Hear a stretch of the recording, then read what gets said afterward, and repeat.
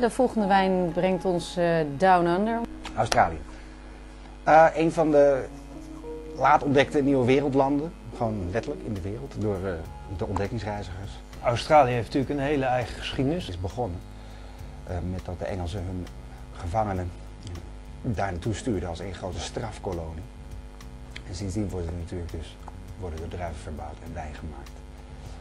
Maar de huidige industrie zoals we hem kennen, uh, startte eigenlijk pas in de jaren 50 van de vorige eeuw. Het ligt natuurlijk helemaal echt aan de andere kant van de wereld voor ons. En uh, het is eigenlijk bizar als je beseft wat voor een, voor, een, voor een totaal afwijkend land dat is ten opzichte van uh, andere landen die we kennen. Nou, Australië is natuurlijk een enorm groot continent. Het herbergt niet veel meer dan Nederland, uh, een Nederlands aantal mensen. Het zit op net over de 20 miljoen. Uh, maar de oppervlakte is even groot als de hele Verenigde Staten. Van noord naar zuid, uh, oost en west, er zijn er dus ook allerlei verschillende klimaten. Maar het gaat eigenlijk voornamelijk om deze onderkant. Als we in het, nou even in het westen beginnen, heb je Western Australia. Daar heb je echt meer de cult wineries. Dat zijn echt kleine, kleine wijngoederen zoals je ze misschien in Europa ook kent. En dan ga je meer naar het midden, dat heet South Australia. Uh, dat is in het midden waar het echt zo'n zo hoek naar beneden maakt. Uh, daar heb je Adelaide en Adelaide Hills en de Barossa Valley bijvoorbeeld heel bekend. En dan verder langs de kust, dan kom je dus boven inderdaad Tasmanië.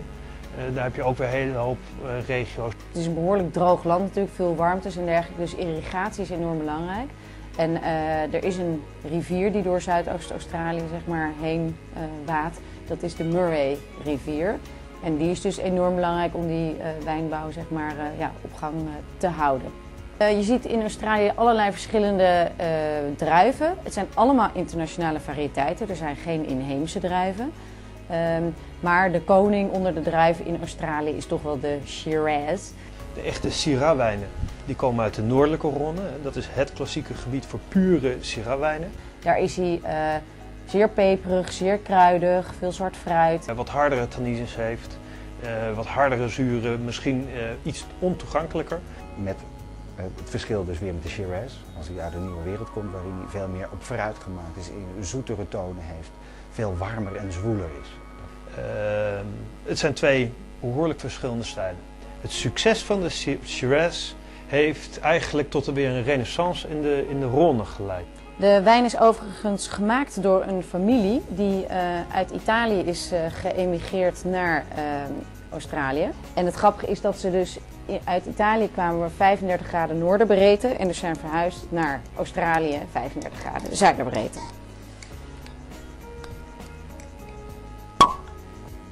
We hebben in het glas de Cerevolo Shiraz. Het is redelijk donker, maar wel nog ja, robijnrood te noemen. Was hem even goed in het glas, zodat zeg maar, de geuren mooi vrijkomen. En dit, is, dit is heel duidelijk uh, Shiraz. Het is ook heel duidelijk Shiraz Shiraz. En dus de Australische variant. Want dit heeft een, een, je voelt de warmte in je neus. Ook wel kruidig, peperig, maar vooral het hele zwoele. Wat zwart fruit. Uh, uh, jong leer. En die typische eucalyptusgeur. En je kan ook ruiken al dat, dat de wijn hout gehad heeft. Ja, een spannende, warme, uh, rokerig uh, neus. Je proeft dat, dat zwoele, dat zonnige, een beetje dat zoetige van hè, de, de, het klimaat uh, daar. Je proeft de zon erin. Zelfs het eucalyptus proef ik. Het donkere fruit proef je ook. En dat is toch altijd een goed teken dat wat je, wat je ruikt je ook proeft. Dat is hier zeker het geval. Het is gewoon een klein beetje ook iets iets jammigs. Maar naast het fruit en het kruidige, zeg maar, zit er ook wat meer wat, wat zwaarders in. Een beetje chocoladeachtig. Leer. Ik heb zelfs wat, een beetje tabak erin. Uitstek een, een wijn om bij te eten. Het doet het goed bij stevig eten, zeker winterse kost. Dus het mag ook best kruidig worden, dat kan deze uitstekend aan. Stoofpotten en in de zomer bij een barbecue.